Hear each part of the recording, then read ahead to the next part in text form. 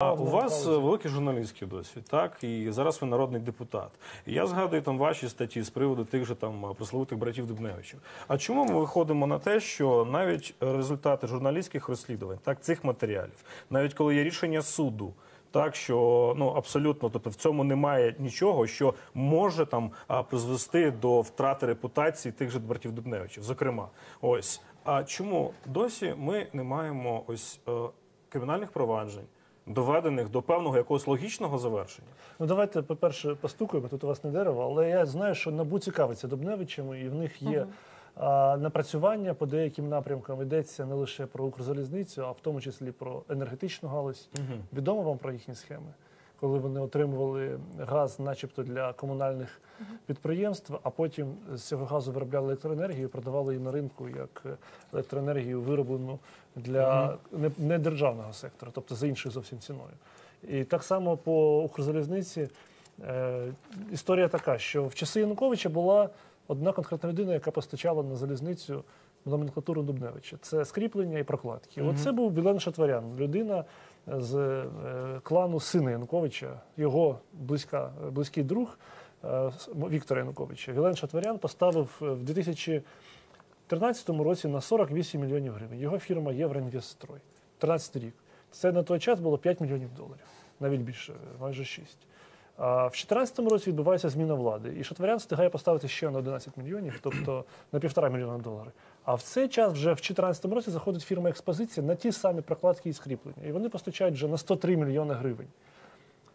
В 2015 році вже нова влада входить, скажімо так, паруса надуваються, і вже Дубневичі постачають на 173 мільйони гривень. А на середину минулого року вже було понад 300. Тобто стали набирати масштаби саме їхні. інфляція, ви розумієте, курс і Треба так далі. відбивати Складне гроші, економічне становище. гроші, які потрачені на вибори, але тут не тільки в цьому питання.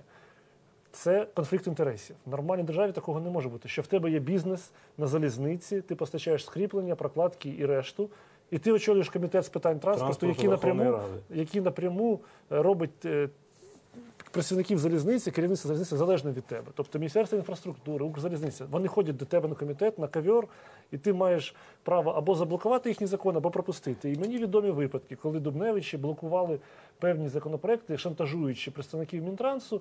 І Якщо не наша там е, воля, то тоді не буде вашого закону, пропущено через сесійний зал.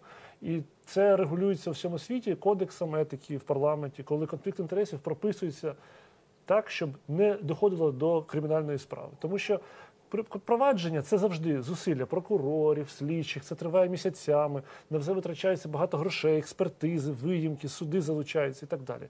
Набагато простіше це блокувати на рівні ще самого парламенту, коли конфлікт інтересів буде визначатися всередині стін парламенту. І там люди, як Дубневич, вони ніколи не потраплять на посади. Нехай він буде головою комітету з питань культури, з питань духовності, я не знаю, з питань е, материнства і дитинства. Це сфера, де в нього немає конфлікту інтересів, і він може свої менеджерські функції проявити там, а бути одночасно і бізнесменом на залізниці, і головою комітету.